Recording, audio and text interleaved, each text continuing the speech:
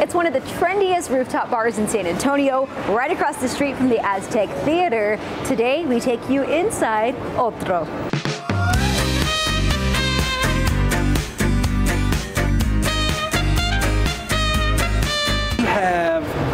Our hotel on top of a old one-story building that's been around for the last 75, 80 years. Um, and there's a lot of um, tie-in to the city of San Antonio that we kept in the building.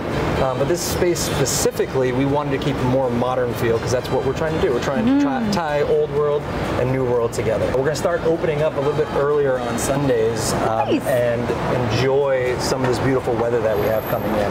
Got it. Mimosas, Bloody Marys, weekend cocktails. Uh, it's going to be great. It's going to be fun. Live entertainment. The good. Yes, and the sounds of downtown, right?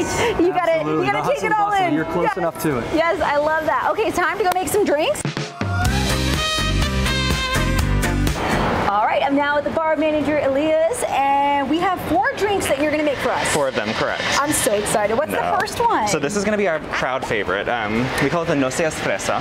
Um, don't be a strawberry.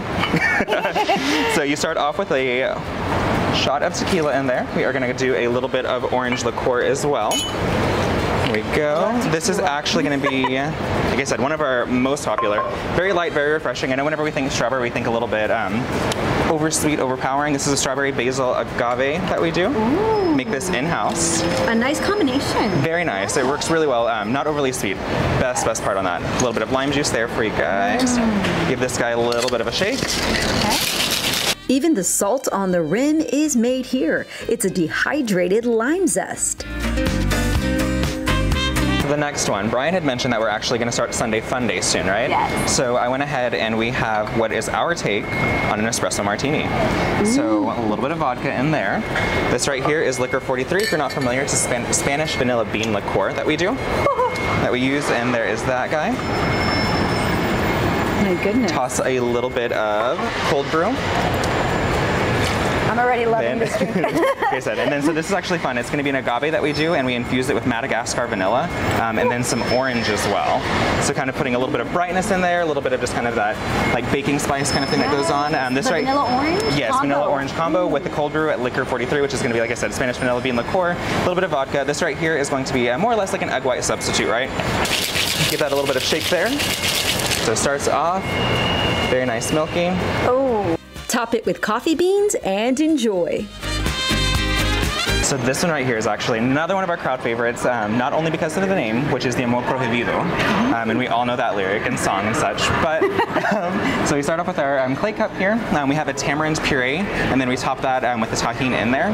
Toss a little bit of lime juice inside of that guy. Add a little bit of tequila. Then you top it with a spicy grapefruit tamarind soda, made right here in house. One of our most beautiful cocktails. Um, if you like spice, you like that little bit more of like, not necessarily sweet like a margarita, but you want just that little kick to it, this is the perfect one for you. and last but not least, one for Cinco de Mayo. right? Yes, yes. So this right here is going to be the 1862 margarita, right? So we're going to put a little bit of tequila inside of there, a little fresh lime juice, fresh pineapple juice, a little bit of agave in there, and then for that spice, we're adding some jalapeno. Of course. May 5th of 1862. French invaded the outskirts of Puebla. Um, looked like they were going to be outnumbered 100% as far as Mexico was concerned, um, kind of representing that this is, looks like it's a beautiful sweet drink. Uh, Mexicans actually conquered. May 5th, 1862 was going to be the landmark that eventually led into Mexican independence.